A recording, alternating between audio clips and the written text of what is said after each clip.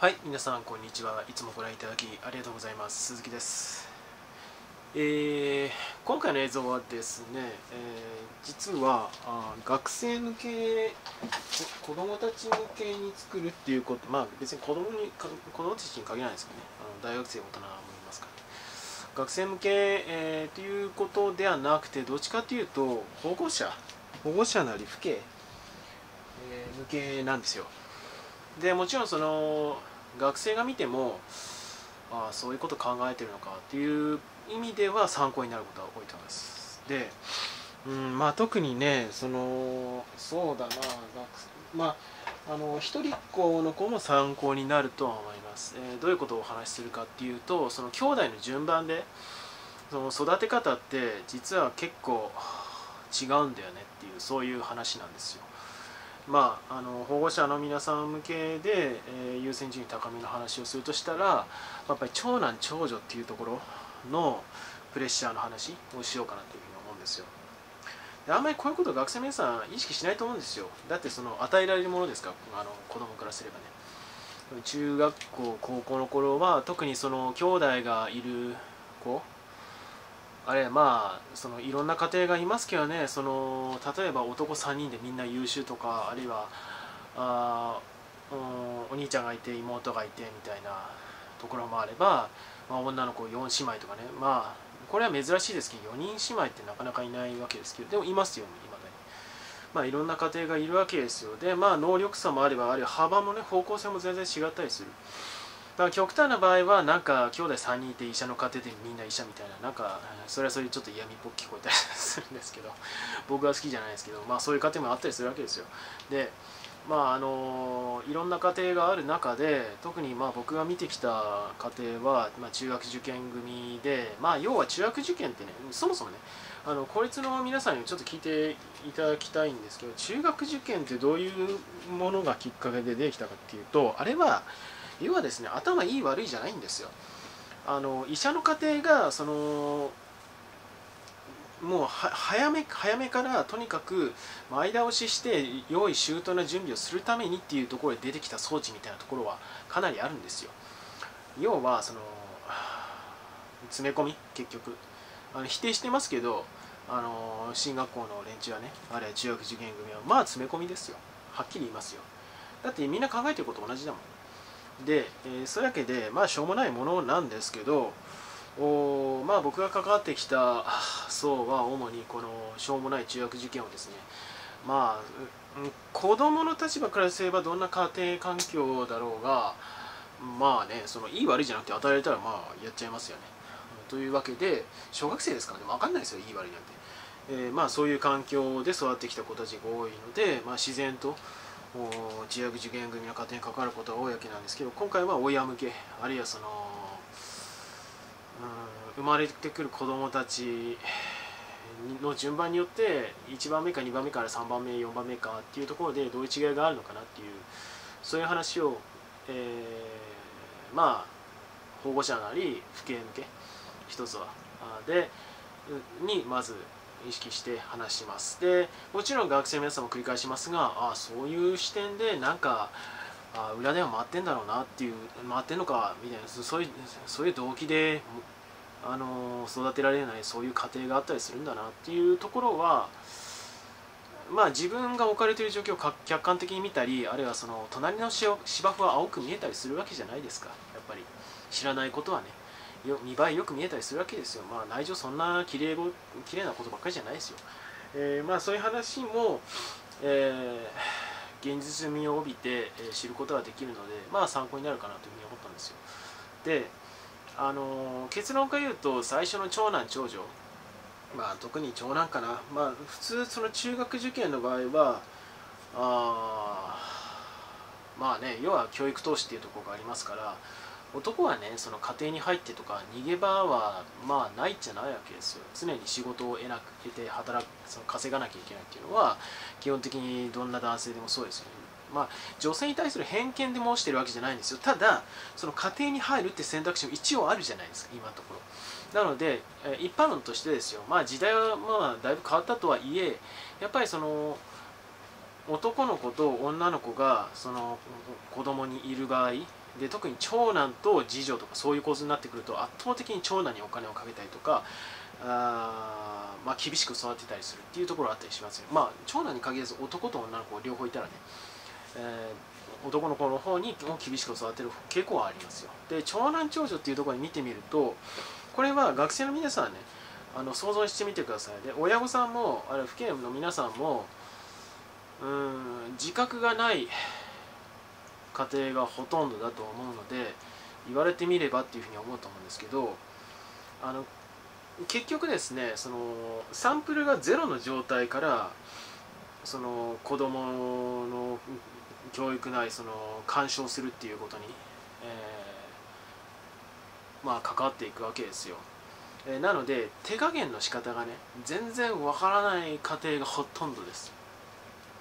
ほとんど。要は多少できないからとか宿題やらんとか成績がなかなか上がらないとかで頭殴ったりとかあまあそれはその親御さんからすればその悪意はないわけですよもちろん。その真剣に熱を入れて、まあ、要は加熱しちゃってるわけですよ。でなんで加熱するかっていうとまあ当たり裏表ですけど冷静になれないからです。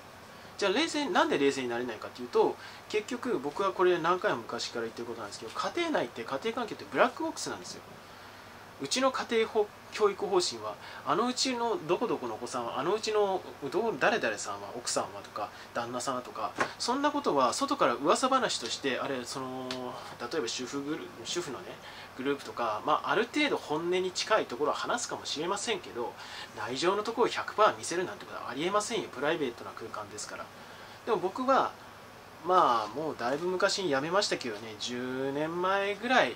まあ15年前から10年前ぐらいの45年間ぐらいは、まあ、家庭教師もやってた時期があったんですよ。でその時はその家庭にまあ要は入り込んでいくわけですよね。でもう入ればすぐ分かりますよ。あこのこの家庭こういう雰囲気とかあ父親がなんか亭主関白なところなんだなとかあれ母親カリカリしてうるさそうだなとかあれはちょっと頭巻いててあの薬とか飲んでそうだなとか、まあ、実際そういう家庭もいたりするんですよ本当に。まああったりするわけですよ。雰囲気とかも一発で感じますからね、まあ、すぐ分かりますから。まあそういうところは表には決して出す出しませんよ。あるいはその友達親御さんの友達同士で何に困ってるんだけどみたいな話が出るかもしれませんけどでじゃあ100%まるまる教えなさいよっていうふうに言われた時にまあ語れる友人関係にあるなんか主婦仲間とか別に主婦じゃなくてもだあの父親同士の仲間でもいいですけどいないと思いますよ。で僕はそれを見るわけですよ。まざまざと。でまあ話戻りますけど、まあ、やっぱりそのもともとの資質っていうのはありますか？ら特に数学。まあ小学生は算数ですけどまあ中高生にとってみれば数学ですよ。まあ天才がいる世界なんでもともとできるやつはできるんですよ。でそれに対してもともと数学なり算数が苦手でっていう子はやっぱり伸びないわけですよね。もう地道に訓練で計算の速度を上げたりとかあるいは問題の典型問題をとりあえず頭の中で、えー、よく整理してでそれをうまくひねりながら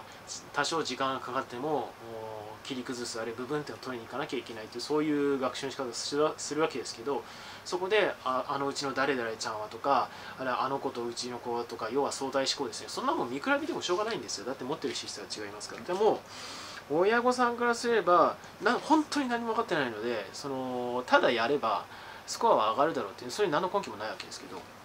そう思ってるわけですよ。で思い通りいかないとガッて殴ったりとかああるいはそれにその反発してもう家の中にもう今ありました実際壁に穴が開いてるとか、まあ、そこまでじゃなくて、障子がビリビリに破れてるとか。あ、まあ、僕がトイレに行ってる間にね、あの罵声を浴びせてるとか、まあ、そういうこともあったりするわけですよ。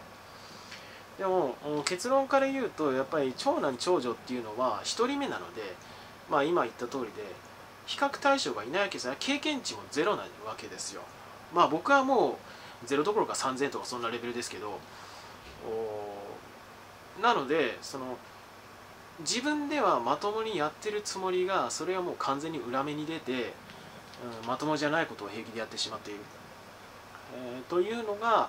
多いのはやっぱり長男長女なのかなと。その結果どういうことが起きるかっていうとやっぱりプレッシャーがかなりかかりますよね、まあ、でこれ出来が良くてもそんなにそこまでじゃなくてもかかりますよ。だってああまあ期待されてますからね。まあ言い方を変えると過剰な期待をされてる場合が通常ですから長男長女は。で、えー、なので堅実に積み重ねようっていう資質なり性格になる傾向はあると思いますよね。プレッシャーがかかってる。変な博打とかあるいはそのここ頭に余裕を持って逆に言うと多少不真面目な態度でそのあまり詰め詰めで頭の中を使わずに余裕を持ってちょっとした無茶ができるのはそういう状況にないですからね。一番上の子っていうのは。普通は。まあそ そのまあ、そうじゃない子もいますけどね。中にはね。家庭のパターンとして。一般的にはそうなりますよ。でであの想像は容ごそ容易だと思うんですけど2人目3人目ってなってくるにつれて親御さんもまあ上の方は出来が良くて、まあ、あんだけ手かけてもこんなもんだったからじゃあ下の子はまあ普通だからまあそんなに手かけてもしょうがないしうんまあここの辺いければ万々歳かなみたいな頃合いが分かってくるわけですよ。で3人目とか4人目になってくるともうほったらかしとかね。本当にねでそこから性格とかあのまあなんていうのかな下に行けば行くほどほったらかしになるので奔放になったりとかあの気まぐれな性格になったりとか。まあ要は末っ子の性格みたいなよく言われたりするじゃないですか、ちょっとわがまま気味とかね。まあ言い方変えればあの下の子は下の子で寂しがり屋っていうところもあったりするんですよ。ね構ってもらえないから。で上は上でプレッシャーかかりすぎあのもういじってくれるなっていうそういうねなかなか難しいですよね子育てって、まあ、学生の皆さんからすればああそういうことかというふうに思うと思うんですけど自分がもし親の立場だったら、まあ、これは僕がね一回あの自分がもし指導者の立場だったら何を、ね、伝えるかとかどういうふうに語りかけるかとか何を指示するかということを想像するといいですよという話もしましたけど親の立場からっていうのはもっと想像しやすいかもしれませんね今の話からすると。だって皆さんだっていくら仲のいい友達がいたとしてもその家庭環境とかあるいは置かれてる状況とかあの完璧に把握無理でしょ。だってそれは友達の視点から見たその家庭環境だってそれは友達の言い分であって子供の言い分であって親の言い分じゃないじゃないですか。子供が見てる世界と親が見てる世界って全然違いますよ。もっと言うと父親と母親が見てる世界も全然違いますよ。というわけでまあわからないと思うんですよね。要はその実はその教育ってその世間で言われてるほどパブリックな要素って極めて少なくてむしろ例えばねあの自分の進路とかあるいは自分がやりたいことっていうものに大きく影響する優先順位が高いものトップは何かって言ったら親ですよ結局あのありがちなのが親が医者だからっていうのでその本人の意思を問わずしてもうご利用しで医学部にねじ込もうとしようとするね。あ家庭なんかまあ進学校の半分ぐらいはそうじゃないですか。で半分はその本人の資質依存でまあ自由におやりなさいっていう家庭がその子たちがまあぐんぐん伸びていくとかそういう構図あったりしますけど上の方だとやっぱり半分ぐらいそんな感じなんじゃないですかね。まあすごく息苦しいですよ。まあ、そういう話もあったりしてでそんな中での今言ったようなあ、まあ、長男次男あれ末っ子とか育て方変わるんだなっていう話になっていくわけなんですよ。逆にじゃあ一人っ子はどうなのって話はあるんですけどまあ一般的にはやっぱりうんどっちかじゃないですかね。一般的にはですよ。ものすごくいじられるかものすごく甘やかされるかどっちか。で前者の場合はやっぱり1人しかいないからそこに監視の対象は行き過ぎちゃうんですよ親としても。分散しない。これが2人3人で子供がいたらあっちもこっちも見なきゃいけない。特に母親は。あ分散してまあそのプレッシャーも分散できるんですけど子供側としても。1人っ子はねそこはしんどい時もあると思いますよ。期待されるっていうところで長男長女よりもさらに加わる場合もあると。まあそれは親の性格とかその置かれてる状況にもよると思いますけど。じゃあ甘やかすっていうのはどういうことやねんって話なんですがこれはですねやっぱりもっとその現実味を帯びた話を想定しないと子どもの立場から想像すらつかないかもしれませんがやっぱり、まあ、今の家庭だと要はその高齢出産の家庭とかもあったりするわけですよ。うんまあ、具体的には昔は30歳とか言いましたけど今では35歳とか40歳で出産される方まあもちろんねその医学が発達したとかより心身が健康な若々しい状態を、えー、1世代前2世代前がはるかにあの維持できるようになったっていうところからいわゆる高齢出産と呼ばれる水準の年齢がどんどん上がっているっていうのはあると思うんですけど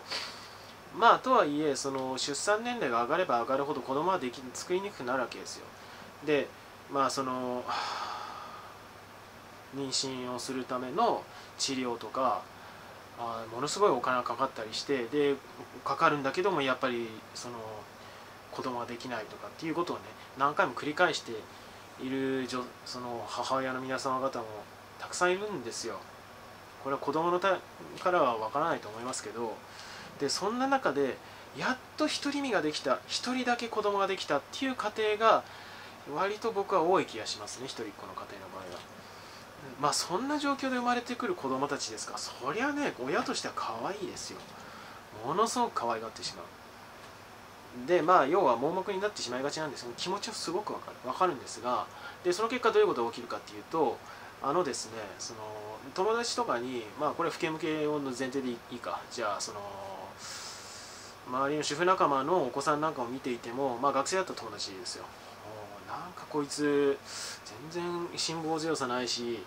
あなんか気まぐれだし全然根気ないやなみたいなそういう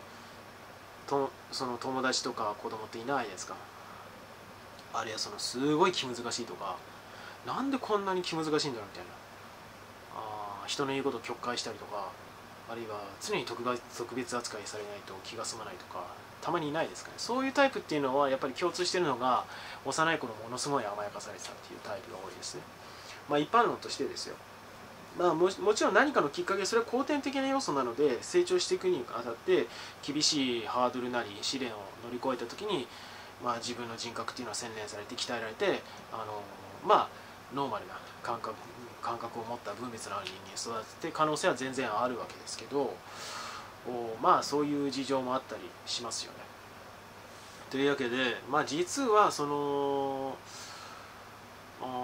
まあ、学力の話、まあ、学力の話学力ともつながる話なんですけど、まあ、僕がいつも言ってるような話とは、ね、全然違う視点でどっちかというと後天的な環境要因家庭環境要因でその学力とかあるいは伸び方ナチュラルな伸び方とそのもうなんていうのかな。もう機械のような扱い方をしていく伸ばし方みたいな。なその成長の仕方にもいろいろあるわけですよ。上作と下作と。いろいろあるわけですよ。そういう視点から見たのその成長っていうところの話の一つとして今挙げたわけなんですけどね。まあねその家庭内の話って別に面白くもなんともないしであるいはそのできればねその、まあ、もちろん自由に基本的にはなその口出しされない。あの自分の責任を持って、まあ、成績に関してねそこそこ取ってれば何も言われない。で実際取れてるっていう緩い家庭に育ってる学生だったら、まあ、今みたいな話は無縁だし、まあ、他人事としてのほほんと構えて聞いてられると思うんですけどまあそういう家庭ばっかりじゃないですからね、まあ、そういうわけでまあ聞くだけでも耳が痛いなとか胸が痛むなっていう子もいると思うんですけどただまあ父兄からしてみたら保護者からしてみたら切実な問題でもあれば実はあなたあの父兄の皆さん保護者の皆さんそうなってないですかっていう視点からねえこういう映像を作るのもまあたまにはいいかなというふうに思ってたわけですよ。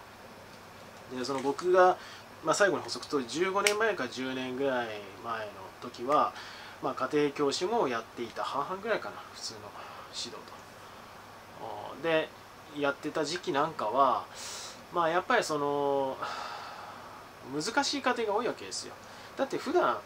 周りその進学校私立でも家庭教師つけてる家庭なんかいきなり聞かないでしょ。そのまあ極端だと思いますよ。もう極端に勉強できないかものすごい、まあ、難関を目指してるかどっちかだと思いますよ。まあ両方見るわけですけど僕なんかも。であの、そういう仕事に関わるとして関わる場合はそのその子だけに関わってても仕事って成立しないんですよ。やっぱりそもそもこじれ方があるいは状況の複雑さがいわゆるノーマルごく普通のあの子供たちと全然違いますからなので親も見なきゃいけないし場合によってはあ兄弟